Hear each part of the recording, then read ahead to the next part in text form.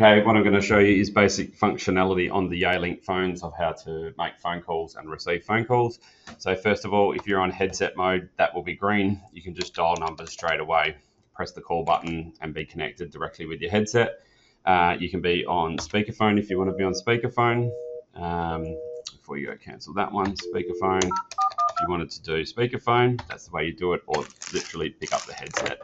Um, if you're on headset mode there and you pick up the handset, it changes it to handset mode, and then you can go back to headset mode as you see fit.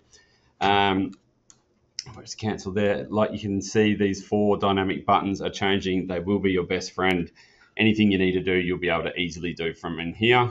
Uh, if you wanted to check your history, if you wanted to go on do not disturb mode, it's very easy. Push do not disturb and then come out of do not disturb mode. Um, if you let's dial a number now and show you some very basic functionality.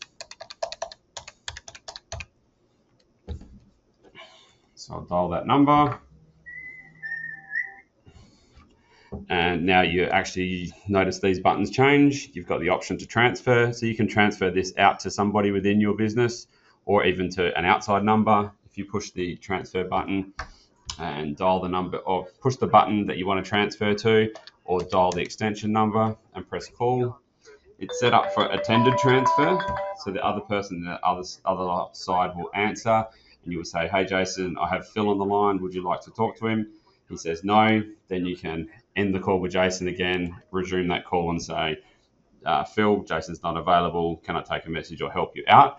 Or you can actually push the call through. So you push transfer, dial the extension that you want it to go through to, press call, you can transfer it blindly straight away now before the other person picks up, which is called a blind transfer. Or you say, hey, Phil, I've got Jason on the line. Yes, put him through. You press transfer. That call's been palmed off now uh, to the other person. Um, I'm just going to transfer that one back now. There's an incoming call. Uh, that's how they're going to come up with the person's number. You've got your four options there answer, forward, reject. So we're going to answer this one. Um, from here, I'm going to show you how to do a conference call. So press the conference button, dial the person that you want to conference into. Can either be an outside line or an inside line. It's completely up to you. Call that person. Hey, Phil, I'm going to put you on a conference call with Jason. Okay, conference. You can see the icons changed here now, and you're conferenced in with um, more than one person on the line. And from here, the other person can end, and you're still on the line. Uh, you'll notice that I've always, whenever I'm on a call, I'm actually attached to that phone call. You can't do much else except for uh, functions within that one phone call on these phones. So what with the IP phone system. So what you'll need to do is you'll notice there's at the end there's these SP1 and SP2. That's the shared parking um, area. What you can do is actually now put this person into shared parking. It sits there.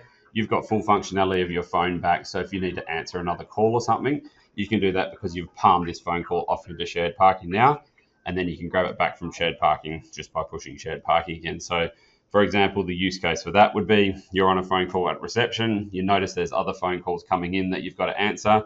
You say, Hey, Mr. Customer, can I just put you on hold for a second while I answer the other call? Bang, put them into shared parking. Now you've got the ability to answer the other calls. Then you can go back to them later. The other way is, let's say uh, you don't want to be put through to a staff member who's not available right this second, you can say, um, "Hey Phil, I've got Jason in shared parking one available when you're ready." And that way, what you can do is actually use your phone again rather than being attached to that phone call, waiting for the other person to be ready. Um, the final functionality that I wanted to show you on the phone, we pick that one back up, is you can just um, literally put a person on hold and resume the on hold um, so, like I said, these four main buttons are going to be your best friend. Uh, keep an eye on them, and you'll be able to do anything that you need to do on the system.